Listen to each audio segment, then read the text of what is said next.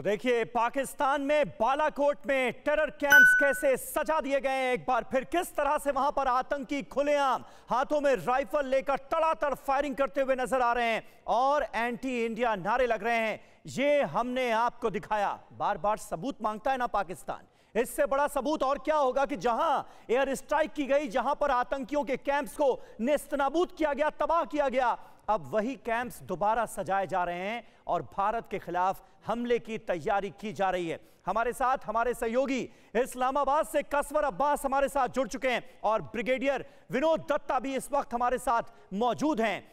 और थोड़ी देर में पाकिस्तान से कुछ और खास मेहमान भी हमारे साथ जुड़ेंगे और हमारे सहयोगी सुमित चौधरी, हमारे डिफेंस करेस्पॉन्डेंट, वो भी हमारे साथ इस वक्त जुड़ चुके हैं। सुमित पाकिस्तान की कारस्तानियों को बेपर्दा करने का एक और बड़ा सबूत सामने आया है। वो भी तब जब एफएटीएफ में ब्लैकलिस्ट होने की तलवार लटक रही है टेररिस्तान पर।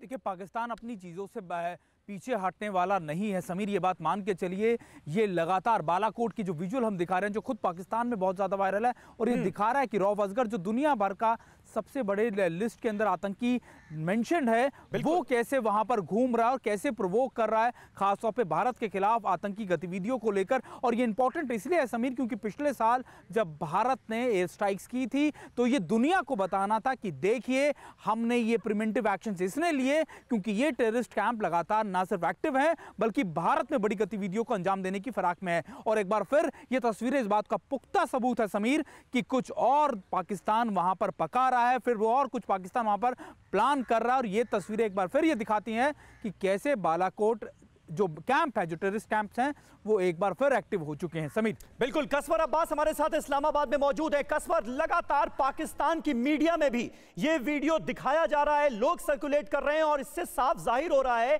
कि किस तरह से बालाकोट में, जहाँ पर हिंदुस्तान ने एयर स्ट्राइक की थी, वहाँ पर आतंकियों की मंडी एक बार फिर सजा दी गई है। क्या एक और एयर स्ट्राइक का इंतज़ार कर रहा है पाकिस्तान?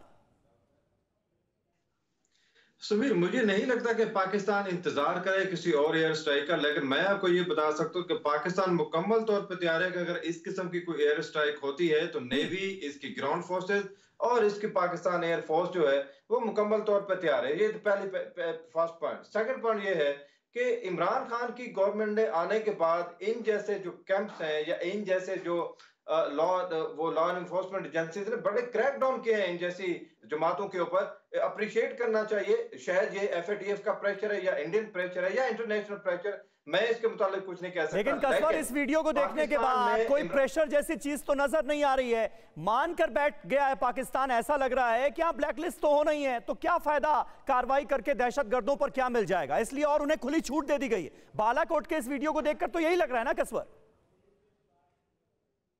मेरा ख्याल है सुमीर, इसकी डेट को देखना चाहिए। अगर ये वीडियो इंथेंटिक है तो फिर तो लंबा फ़िक्र है पाकिस्तान के लिए। पाकिस्तान को बहुत कुछ करने की ज़रूरत है। लेकिन ये भी हो सकता है कि शायद ये पुराना वीडियो हो। लेकिन इसकी ऑथेंटिसिटी मैं चेक नहीं कर सका। लेकिन जिस तरह आप कह रहे थे, अगर बालाकोट में जहाँ पे एयर स्ट्राइक हुई थी, और अगर वहाँ पे ये कैंप दोबारा से एक्टिव हो गए तो पाकिस्तान के लिए बहुत बड़ा लंबा फ़िक्र है। और पाकिस्तान को ब्लैक लिस्ट होने से कोई नहीं बचा सकता। लेकिन मेरी अपनी जानकारी ये है कि पाकिस्तान में इमरान खान की गवर्नमेंट में ऐसा पॉसिबल नहीं है। कल ही मेरी कमिश्नर इस्लामाबाद से बात हुई इन्होंने 144 यही तो बात है ना कसवर की कहा कुछ जाता है दुनिया के सामने और करा कुछ जाता है। किस तरह से दहशत गर्दों को खुलेआम छूट दे दी गई है बालाकोट में ये वीडियो साफ़ ज़ाहिर कर रहा है। यू स्टॉप नाइन रोज सुबह सात बजे और शाम सात बजे सिर्फ़ टीवी नाइन भारतवर्ष पर।